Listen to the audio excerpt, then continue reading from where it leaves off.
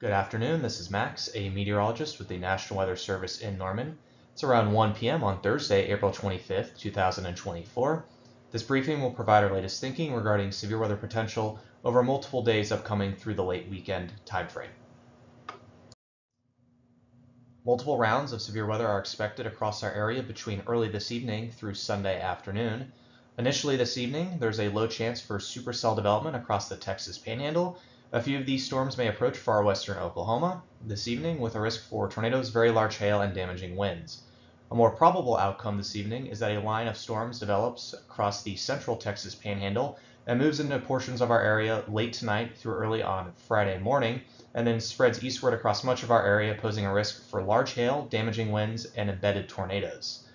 Heading towards Friday evening and Saturday, there is high uncertainty regarding storm timing and severity across the area.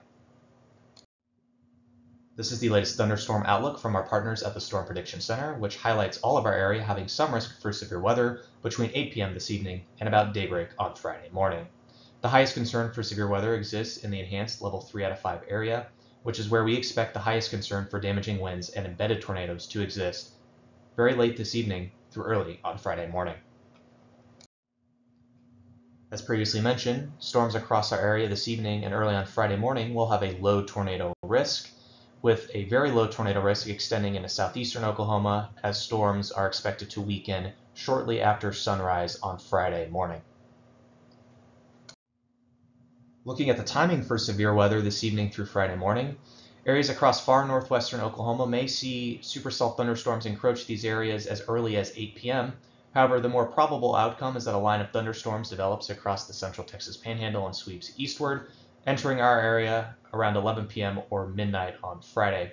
For central Oklahoma, the most likely time frame for severe weather will extend from 2 a.m. to 5 a.m., with severe weather generally advancing eastward and either weakening or clearing our area around 9 a.m. on Friday morning. In the wake of the morning round of thunderstorms on Friday morning, there are additional chances for severe weather on Friday afternoon into Friday evening, mainly in areas along and east of the I 35 corridor. The probability of severe thunderstorms is not overly high. However, if thunderstorms do develop, especially in the slight risk level 2 out of 5 area, they will be capable of producing all severe hazards, including damaging winds, large to very large hail, and potentially carry a low tornado risk. This graphic shows where tornado risk will exist if thunderstorms develop on Friday afternoon into evening. Again, a low tornado risk will exist for areas generally along and east of a line from Tulsa, Oklahoma towards Ada and then down towards Lake Texoma. For timing of severe weather, Friday afternoon into evening, if storms develop, they may begin as early as 4 p.m. in our area. The most likely time frame for storm development to occur would be between 5 and 8 p.m. on Friday evening, Activity should be ending in potential or exiting our area by around 9 p.m. on Friday.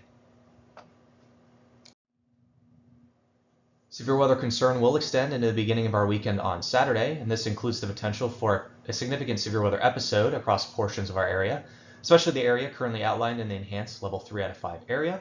This includes the potential for multiple rounds of severe weather from the late morning into the late evening, potentially even into early on Sunday morning.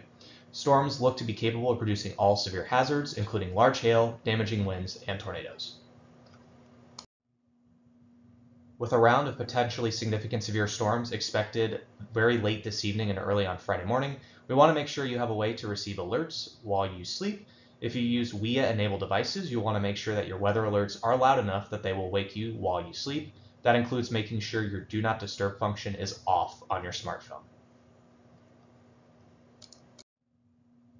That's all for this update. Again, this was Max, a meteorologist with the National Weather Service in Norman.